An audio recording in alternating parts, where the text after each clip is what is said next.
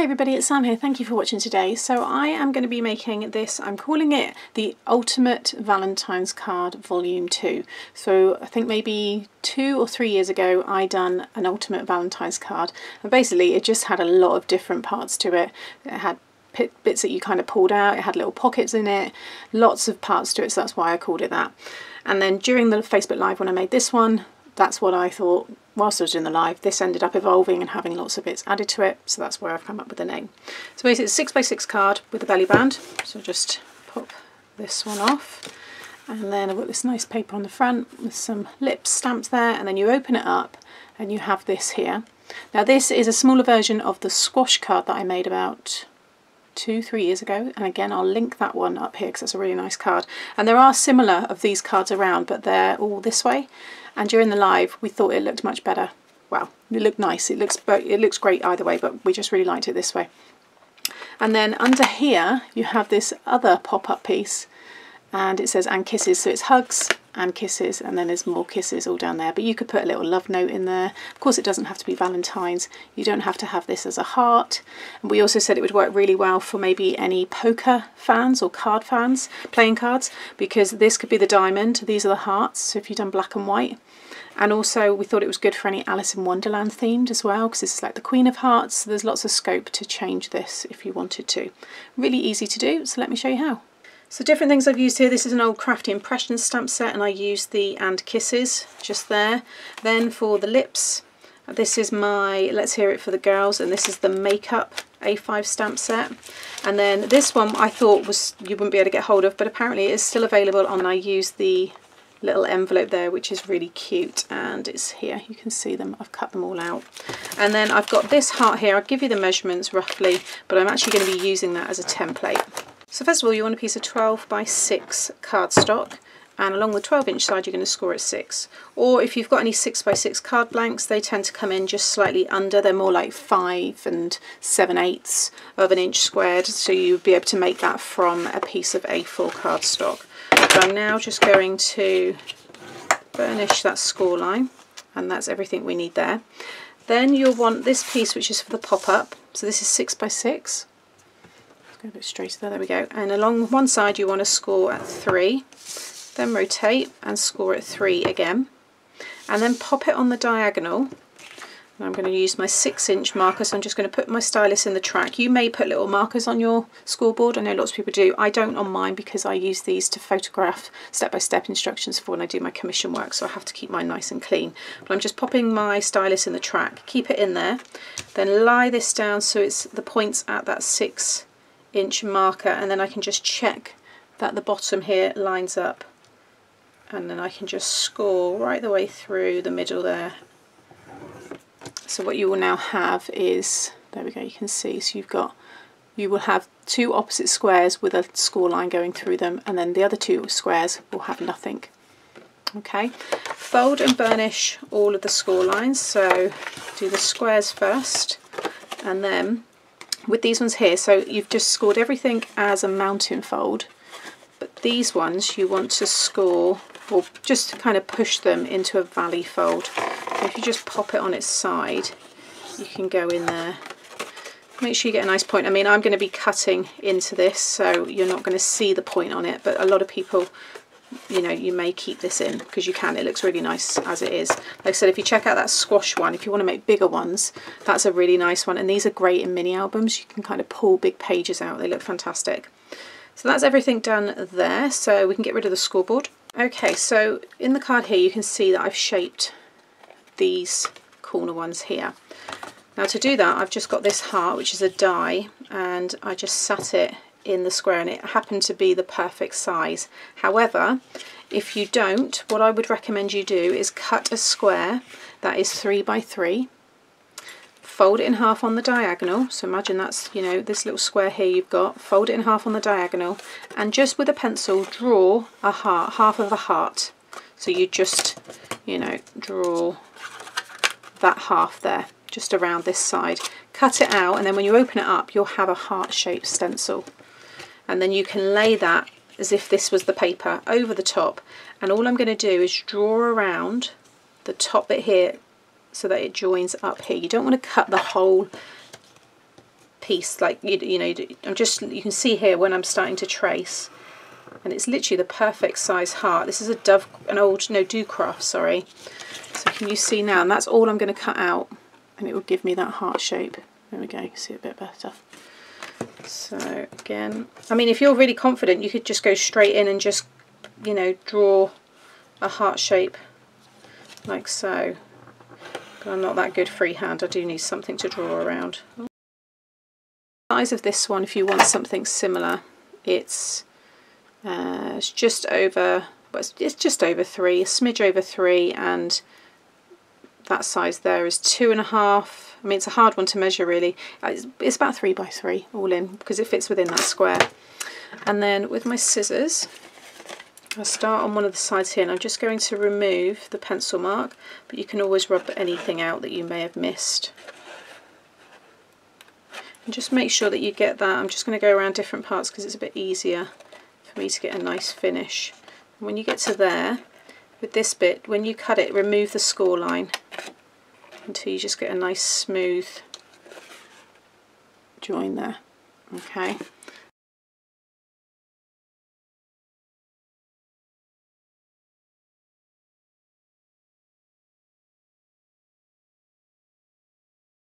Okay, so now that's all ready and you can see when it folds it will close up into that diamond shape. So now I'm going to go back to the main card and I'm going to stick all my mats and layers down. So I've got quite a few here. I've got three, you actually want four because depending on whether you're going to write your message in here, you may want to write it on the back. So if you do want to write something on the back, then I'd do four of these sizes. But I've got four in this holographic cardstock, and this is five and three quarters squared. And then I have, again, I would say four if you want to write on the back, but one of these would be white. These are five and a half squared. You can see they're all going to go over the top there with a nice border. And again, like so. So depending on what orientation you want your card, these hearts are in all directions so it really doesn't matter but obviously if you want the card to open this way then make sure if it's a directional paper that you have it facing the right way but apart from the love on the front the ones inside I can stick however I want so I'm going to get all these stuck down with this one I'm just going to use my glue and stick it on there and then I've already put double-sided tape on the back of these so it sticks nicely onto the mirrored card.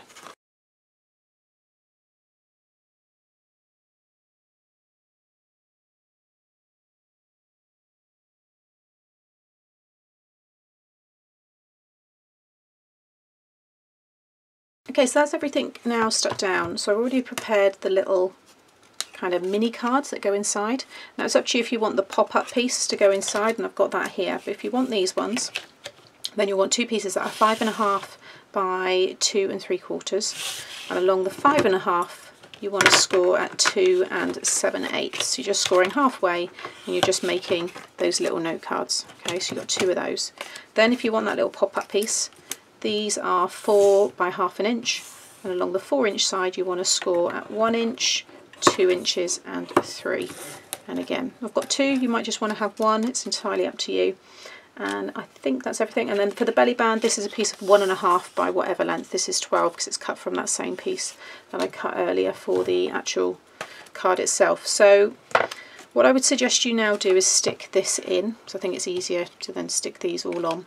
So what you want to do is, I'm going to add, so if you just grab your glue and pop it on one side first, so, and you want to make sure that you've got the opening facing you, the folded point there you're going to have here. So just make sure you get it as centered as possible, so three and three, that's about right. I can also just measure here, just under one, just under one. So happy with that. And then I'm going to add my glue onto the top. So, and then you just want to close up the card. I'm going to grab my mini machine here. I'm just going to sit that on top and pop that to one side. Whilst that's all drying, with these ones here, you just want to fold and burnish the three score lines, all in the same direction, like so. And then I'm going to use my quick grab glue for these ones. and you just want to pop some glue along one of the one inch sections so I just popped it there and then you're going to sit this in the middle with this end so it sits along the score line there like so.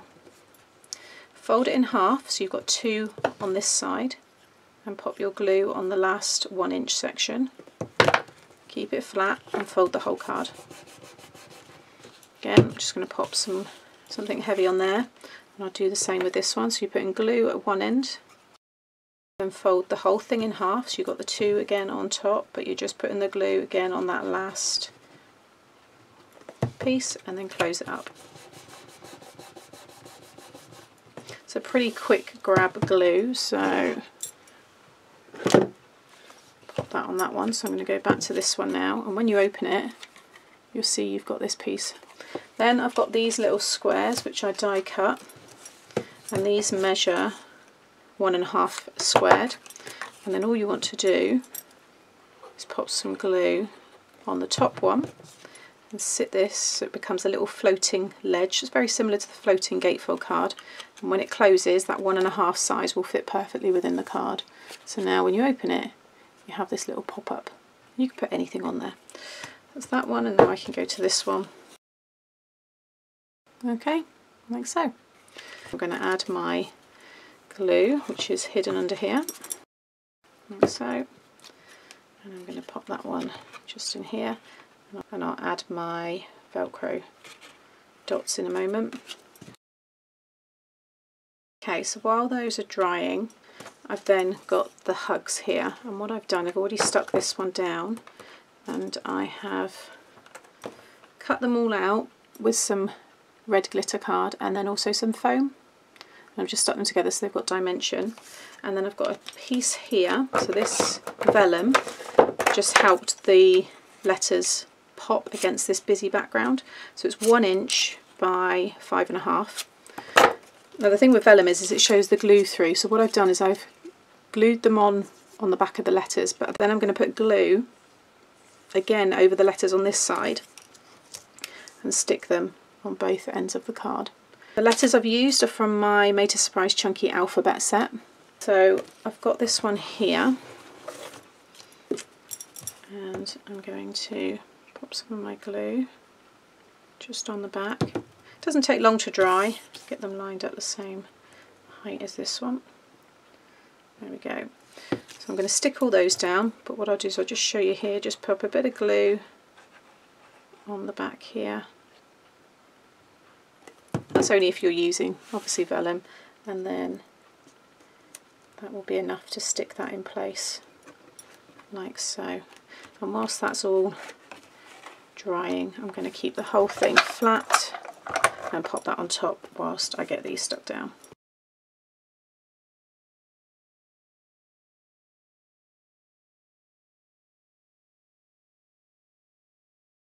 Okay, so that is now all stuck down. What I want to now do is I want to add a matte layer onto this. If can you see I've done some stitching with my gel pen and then that's actually two halves of a heart and I'll show you just how I've done that. So with that same die, just pop that all in there, that'll close better once I add the velcro dots. And I'm going to die cut two of this heart shape and just get them I checked. So I'm going to die cut that 12 twice. So whatever step, you know, whatever you used originally, if you can die cut it, if it is a die, then do so. If it's a template, just draw around it again, and then we're going to cut it just slightly smaller. Okay, so you only have to do one as well, because then you can use that one to draw around all the others. So what I'm going to do first of all is just cut this in half. And then, like I said, just do the one and then you'll use this to draw around these ones. Now it's up to you how much smaller you want it. I want about a quarter of an inch, so I'm just going to start following around the heart. Now if you've got nested heart dies that fit, then just cut the next size down see if that's going to be enough or if I need to take some more off. No, that's perfect. So then I can just use that same one. I'm just going to line up the bottom. So it looks like I'm taking more away, but if you bring the point right down to the point of the one underneath and then just cut around the top.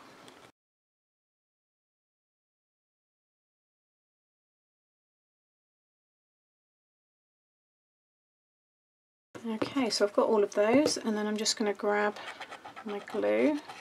This is a double-sided glitter, which you don't need for this at all because you don't see this half, but it was the only one I had with this lovely red.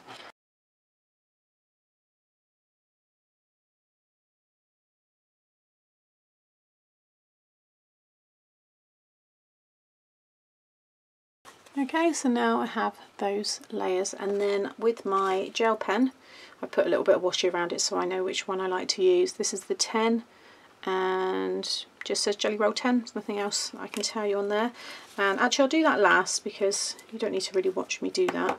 Um, I'll just pop that on high speed. I'm going to pop the Velcro dots in place and then what I ended up doing, so if you watch the live I actually made little tabs, it was too much bulk and I found this was easier so I'd actually just put the, the Velcro in the top corner and then closed it and that was enough and then I done it on the oh got a bit of glue stuck on that one and then just so that you get the equal amount of bulk put it on the opposite end of that one and stick that down and just really push it so it sticks again make sure everything's stuck down so now I'm going to stick down all the decoration just like this one so I'm going to have the two little envelopes on the top and then I'm going to have the lips and the kisses. I need to put some glossy accents over those lips. I just realised I've missed those and again there but if you haven't done that you might be writing little messages.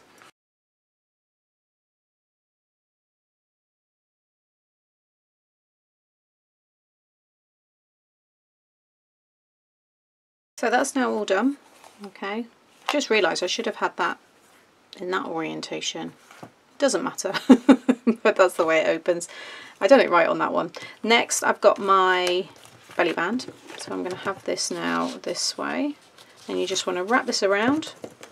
You know, you want it tight enough that it's going to stay on, but not so tight that they're going to really struggle to take it off. And I wouldn't put this in an envelope, but if you did want to make an envelope, then I've got my envelope playlist. I'll pop that up now. I've got box envelopes. I also have got a tutorial that shows you how to make your own envelopes without you know any tools you just need your paper just let that dry and then I've got my lips and I'm just going to ink them up and this was just a little, extra you could really uh, I think we said during the live you know put your own lipstick on and, and kiss it with your own lips as well I think that'd look good I'm just going to stamp that there there we go in fact I might do a couple more because I think again it just looks quite good having if you do three so if we do one kind of here.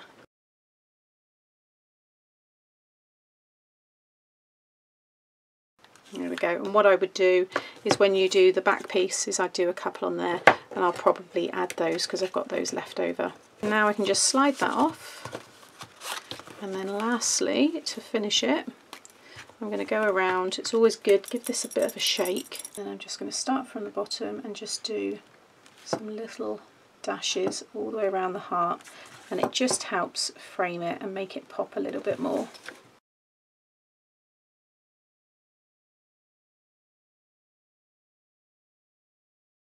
There we go.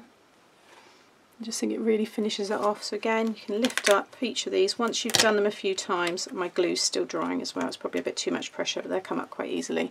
But you can see there, kisses. I think it'd be great for little love notes as well. And then again with that one there, see that one lifts up. You could put money in there as well if it's a birthday card. Because like I said, if you go down that route of like more for, you know, playing cards, poker with the diamonds and the hearts, then you could put money underneath this as well. I think that would look really cool. And then it all folds up and then it will fit the belly band over the top. So there you have it, my ultimate Valentine's card volume 2 so I hope you've enjoyed it do check out volume 1 it's a really nice card you might enjoy that one as well and I'll be back again very soon with another tutorial and then it's my last Valentine's make and I hope you enjoy it. Thanks. And also, if you haven't subscribed, please subscribe if you enjoyed my tutorials and you want to see more. Hit the notification bell as well because that way you'll get notified when I upload a new video. Thanks for watching. Bye.